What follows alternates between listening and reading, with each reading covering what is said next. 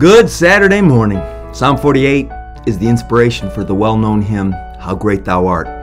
When we realize the greatness of God, then we can truly be encouraged. The world's looking for hope and for comfort and for encouragement in these difficult days of pandemic, and many are looking for it fruitlessly in the voices of politicians, but in the end, politicians are just people.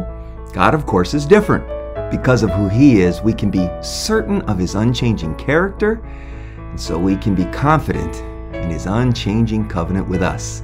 He is faithful to His word, and this causes us to sing, How Great Thou Art. I don't know what situation of difficulty you might be facing today, but I do know that if you belong to the people of God, if you're a member of a local church, then you have God's inspiring word to encourage you and His people to encourage you. Lots of words are being spoken to encourage people today by a lot of different people political figureheads, medical experts, celebrities. And they want to encourage, but they are not inspired and we have no certainty about their words.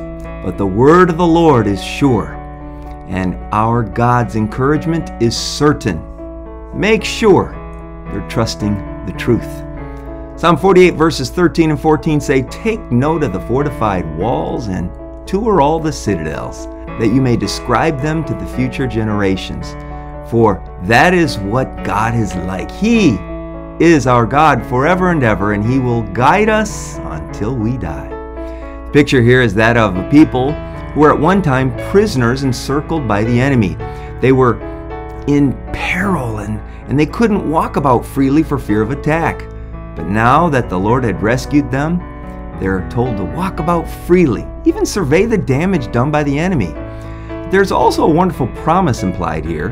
As the people of God marched around Jerusalem, they would discover that the towers were still in place. There's no damage.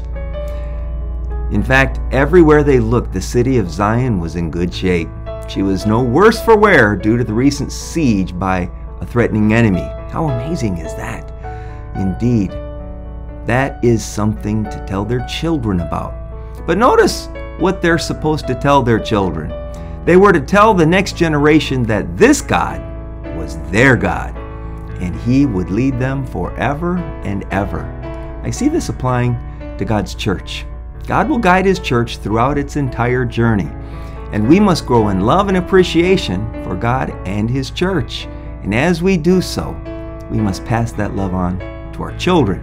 And the best way for our generation to pass that appreciation on to the next generation is for us to boast about what the Lord has done for us. Speaking of God's church, today's our work day. I got breakfast to prepare. See you tomorrow.